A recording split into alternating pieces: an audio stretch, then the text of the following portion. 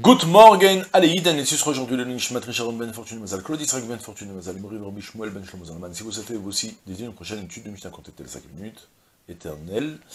Et nous étudions aujourd'hui Masechet Tanit, Perek Bet Mishnah Zain, Anche Mishmar, Mutarin, Lishtot Yain Balelot, Aval Lo Bayamim.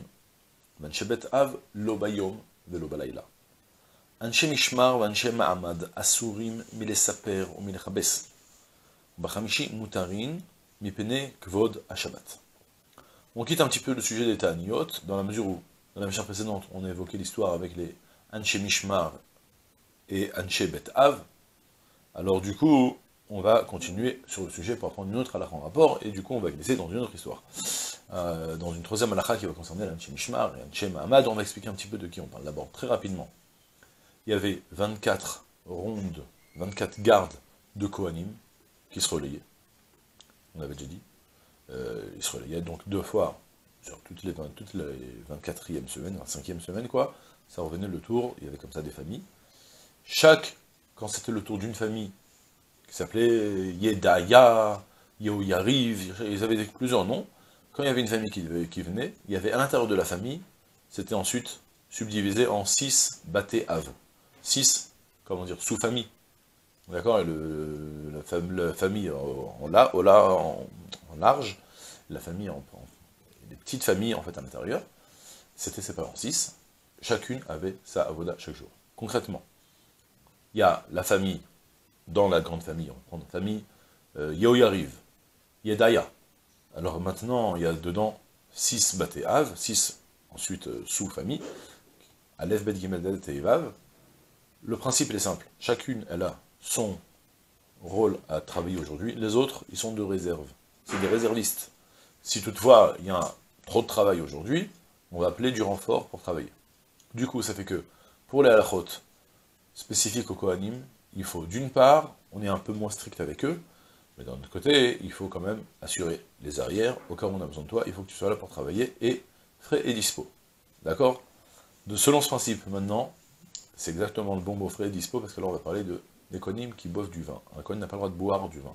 Autant qu'un rave n'a pas le droit de boire du vin quand il doit donner un shiur de l'ara, c'est une explicite, s'il a bu, il n'a plus le droit de donner un shiur de l'ara. Entre parenthèses, j'avais entendu une fois que Rav va dire, on va dire Youssef, et il, a, il donnait tous les mots Shabbat le shiur, or il buvait auparavant l'Avdallah. J'ai entendu qu'il partait se coucher pendant 5 minutes, après l'Avdallah, il déconnectait un petit coup, et puis il revenait, même s'il mettait à moitié du jus de raisin, à moitié vin, je ne sais pas exactement, parce que concrètement, il y a un grand problème d'enseigner une halakha. Quand on a bu du vin, on n'est plus, plus objectif parfaitement. Et même principe aussi, c'est dit essentiellement, à propos d'ailleurs de Yain Veshechar Altesht, ne, ne pas boire du vin avant de Bevoam El Moed, en rapport avec la mort de Nadav Aviou, là-bas c'était écrit, Hachem il ordonné à Aaron explicitement que tu ne boiras pas de vin avant de faire la voda. Du coup, au Batamikdash, donc on a dit. En théorie, aujourd'hui, on est Mishpachat Yedaya, on est le mercredi, le mardi, Yom Shlishi, donc c'est la famille Gimel qui doit travailler. Donc c'est sur famille Gimel d'abord pour le moment, ils ne boivent pas de vin. Mais à part ça, en plus de ça, ils vont pas boire du vin, ni pendant la journée, ni même la nuit qui suit, parce qu'il faut savoir aussi qu'à l'époque du Batamikdash, on faisait tous les corbanotes en journée. Maintenant, pour les faire les corbanotes, ça implique Shrita Kabbalah ou la Chazrika, on fait la Shrita, on égorge, on récupère le sang, on laisse faire sur le misber. On n'est pas obligé de faire monter les graisses tout de suite, depuis tout de suite. S'il y a trop de travail, on peut laisser jusqu'au soir, on a toute la nuit même, pour les brûler. D'accord? Et pour brûler toutes les graisses. On fait plus de shrita pendant la nuit. Ça, oui, c'est que de jour et pas de nuit. Mais par contre, une fois qu'on a fait la shrita dans la journée, pour faire monter toutes les graisses et tous les membres des holotes et tout ça, on peut le faire même pendant la nuit. Du coup, du coup, donc, un Kohen qui doit aujourd'hui travailler, peut-être qu'on va avoir besoin de lui pour, euh, faire des corbanotes, ou la nuit suivante, on va avoir besoin de lui pour faire monter les corbanotes, pour brûler les graisses sur le misbéar, eh bien lui, il doit rester lucide, frais et dispo, et euh, il doit rester lucide au maximum, il n'a pas le droit de boire de vin. Ça, c'est premièrement pour celui qui travaille. Maintenant, par rapport à Nshemishmar, le reste des autres familles qui ne sont pas de garde aujourd'hui, qui sont de garde que demain ou qui étaient de garde hier, eux, malgré tout, ils sont de réserve. Donc du coup, ils doivent assurer les arrières. Que peut-être que d'un coup, il va y avoir 15 000 Bnei qui vont débarquer avec des corbanotes, et on aura besoin de renfort, et il faut être frais. Donc ils n'auront pas le droit de boire du vin en journée. Cependant, la nuit qui suit, alors, selon le cas, il n'y aura plus de nouveaux korbanot. Il n'y aura que ce qu'on a égorgé aujourd'hui. Donc on va voir qu'aujourd'hui, il y avait eu, il y avait eu au total 100, têtes euh, qui ont été égorgées. Ça va faire tant et tant de graisse. Il y a assez dans la famille de garde pour pouvoir les laisser le faire tout seul. Du coup, les autres kohanim qui sont réservistes, eh ben, ils auront le droit de boire du vin. Et c'est ce que la Mishnah m'enseigne. Donc, Anche Mishmar, les gens de garde de la famille en général, au large, au pluriel quoi. Eh bien, Mutarin Nishtot Biyain Baleilot Avalo Bayamim. Ils auront le droit de boire du vin pendant les nuits, les soirs, Avalo Bayamim, mais pas en journée. Tandis que Vanchebet Av, Lobayom Velo Balayla. Tandis que les Anchebet Av, les gens les membres de la famille qui est de garde aujourd'hui, de telle sous-famille on a dit, eh bien c'est ni de jour ni de nuit, parce qu'ils doivent travailler, comme tout ce qu'on a expliqué, d'accord? Deuxième partie de la Mishnah. Anche Mishmar Anche Mahamad, waouh, on parle d'une nouvelle, d'un nouveau principe là, on parle d'Anche Mahamad. On va expliquer ce qu'est l'Anche Mahamad après, d'abord je traduis. Asuri Mesaper ou Melchapes, ils n'ont pas le droit ni de se couper les cheveux, ni de laver leurs vêtements. Bachamishimutarin Mipnigvod et le jeudi, ils auront le droit de le faire, donc de se laver les vêtements et de se couper les cheveux, en l'honneur du Shabbat qui approche. De quoi on parle? On va d'abord commencer à parler d'Anche Mishmar, parce qu'on les connaît, après on expliquer ce qu'est l'Anche Mahamad. Anche Mishmar, donc, on a dit, c'est la famille au pluriel qui est de garde cette semaine. Eux, Ramim un décret qu'ils n'ont pas le droit de se couper les cheveux et de se laver le linge pendant la semaine où ils sont de garde. Pourquoi? Parce qu'on veut qu'ils se lavent, qu'ils lavent leur linge, et qu'ils se coupent les cheveux avant d'arriver au Batamikdash. Un Kohen, d'abord, quand il fait la Voda, il n'a pas le droit d'avoir les... Il doit se couper les cheveux tous les 30 jours, au maximum. D'accord? Ça, c'est pour un Kohen classique. Tous les 30 jours au maximum. Maintenant, on veut que tu viennes et que tu te présentes bien et beau quand tu arrives au Batamikdash. De ce fait, vous imaginez bien, on est tous en train de travailler mais après, on arrive au Batamikdash, on a un peu plus de temps de libre, parce que c'est peut-être pas ma garde aujourd'hui, j'ai peut-être un moment pour couper les cheveux. Ça aurait été pratique.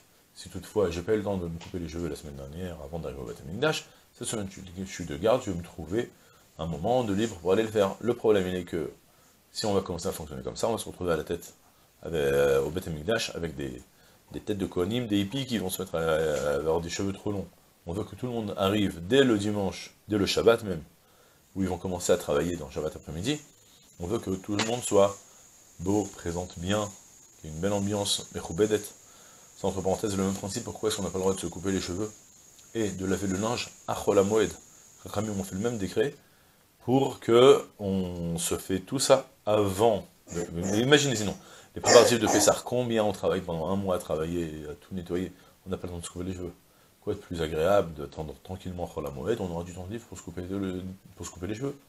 Rami on dit, tu sais quoi, pendant Moed, tu te coupais les cheveux. Ah, c'est important pour toi Eh ben, t'as qu'à le faire avant la fête.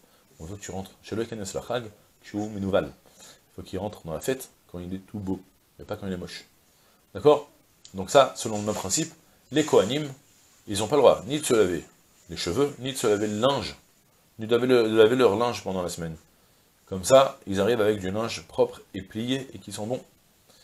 Et d'accord, maintenant, malgré tout, petite remise de peine, Bachamishi, le jeudi, Moutarin, Mépine, Shabbat, ils auront le droit malgré tout de se couper les cheveux en l'honneur du Shabbat. C'est-à-dire, ça implique deux choses. Si on l'a pas fait avant, tant pis pour eux, au moins qu'ils peuvent le faire en l'honneur du Shabbat.